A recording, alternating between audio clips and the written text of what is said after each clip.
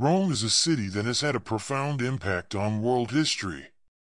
From its early beginnings as a small village on the banks of the Tiber River, to its rise as a powerful empire that dominated much of the Mediterranean world, Rome has played a significant role in shaping Western civilization.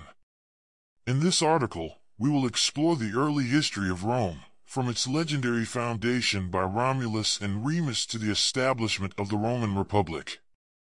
Romulus and Remus Romulus and Remus are two legendary figures in the early history of Rome. According to legend, they were twin brothers who were born to the god Mars and the Vestal Virgin Rhea Silvia. Their mother was forced to become a Vestal Virgin, which meant she had to remain celibate for the rest of her life.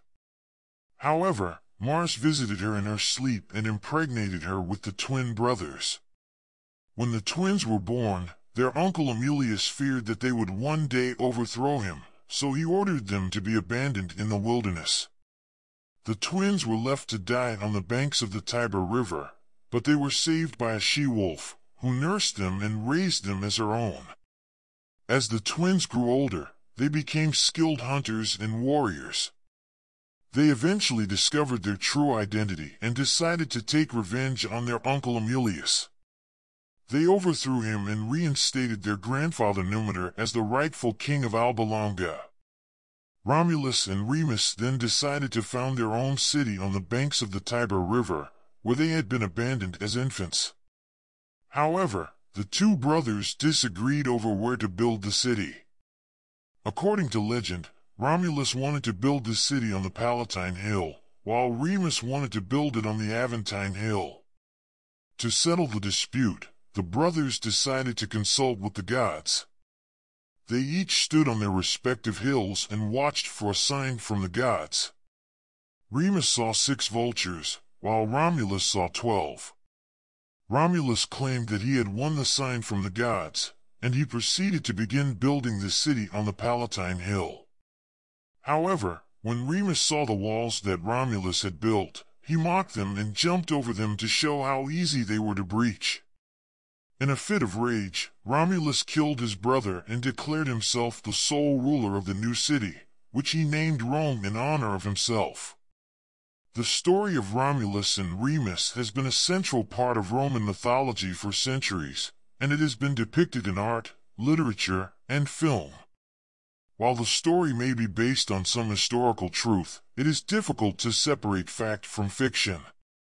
Nevertheless, the story of Romulus and Remus has played an important role in shaping the identity and mythology of Rome. According to legend, Rome was founded in 753 BCE by Romulus and Remus, twin brothers who were raised by a she-wolf after being abandoned as infants. The brothers grew up to become leaders of the small village that would eventually become Rome. However, the early history of Rome is shrouded in myth and legend, and it is difficult to separate fact from fiction. Some historians believe that Rome was actually founded by Etruscan settlers who migrated to the area in the 8th century BCE. Regardless of its origins, Rome began to grow in power and influence over the centuries. In the 6th century BCE, the city was ruled by kings, who held absolute power over the people. The Roman kings were said to have been selected by the gods, and they were responsible for maintaining law and order, defending the city from external threats, and presiding over religious ceremonies. However, the power of the kings was not unlimited. They were advised by a council of elders, known as the Senate, and they were required to consult with the people before making major decisions. In 509 BCE, the Roman people overthrew the last king of Rome and established a republic. The Roman Republic was a form of government in which power was divided among different branches, each with its own set of responsibilities. At the head of the Republic were two consuls, who were elected by the people for a one-year term. The consuls were responsible for leading the army, presiding over the Senate, and acting as judges in legal cases. The Senate was made up of around 300 members, who were appointed for life. the Senate was responsible for advising the consuls and making decisions on matters of state. The Senate also had the power to declare war, make treaties, and oversee the finances of the Republic. In addition to the consuls and the Senate, the Roman Republic also had a popular assembly, which was made up of all male citizens over the age of 18. The assembly was responsible for electing the consuls and passing laws. However, the assembly did not have as much power as the Senate, and its decisions could be overruled by the Senate or the consuls.